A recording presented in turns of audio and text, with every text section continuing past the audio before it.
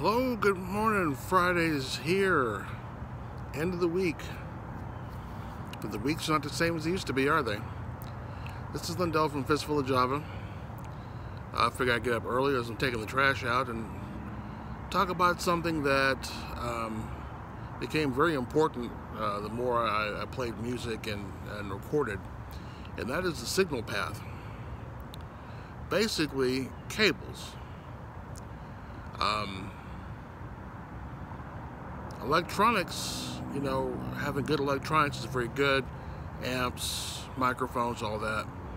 But if you're using the cheapest cables you can get your hands on, the signal path, you know, that carries the signal you're trying to uh, record uh, from the source to, you know, whatever you're using, whether it's through a board or Pro Tools or a Patch Bay or whatever, uh, degrades, you know, through those little cheapy 10 $20 cables. Um, so,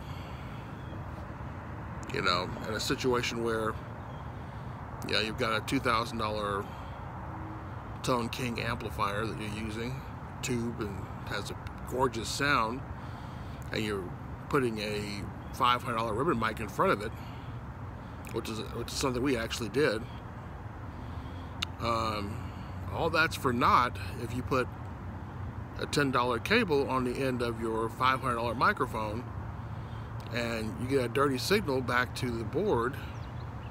And so you get that nice clean pure sound that you're after you end up with you know 70% of a clean pure sound that you're after. I mean you could have spent just a few more dollars on the cable and gotten what you wanted out of it. And so this is something I learned when I had my own studio something I learned when I you know, was playing on stage. Now, one thing I do want to warn you about, if you have a good cable, because a lot of musicians out there think, well, a cable's a cable's a cable's a cable, which is wrong.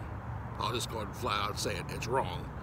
Um, that will walk off with your expensive cables. I've had happen to me more than once. Um, when I had instrument cables, they were typically 18 and 25 feet. Most of them are Monster cables, so I spent somewhere between 60 and $90 for a cable. I go and do a jam session with friends, and my cable will end up walking off somewhere. Well, it doesn't matter. There's one on the floor there. You can have that one. No, I don't. I don't want that. You know, junky cable you got out of the discount bin. I want the one I paid for. The one that weighs twice as much as the one you brought. The one that has the gold tips on the end. The one that's you know, actually will reach from me to my amp without having to re, you know having to move furniture and stuff out the way. Um, so yeah, that happened you know three or four times um, where my cable would wander off. Even one time was still plugged into my in my guitar. Somebody still unplugged it and then took it. So be be prepared for that. Um, however, I can tell you that when I had my own studio and upgrade all my cables to monster cables, a lot of the things I was having a problem with disappeared. Those cheap cables are not insulated very well, and you end up with little pops and hisses and noise that shouldn't be there. And nice, you know, heavy-duty cable will solve that problem.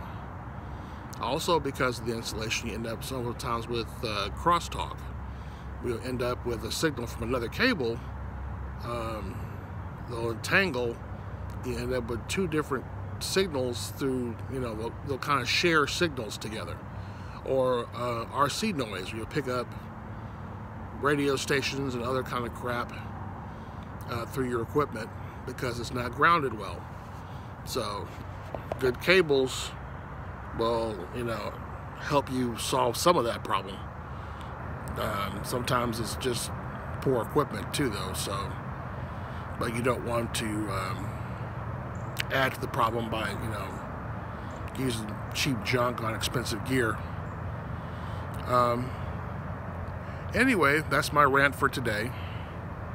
Hope everyone's going to have a good day today. Get up there and do something productive today.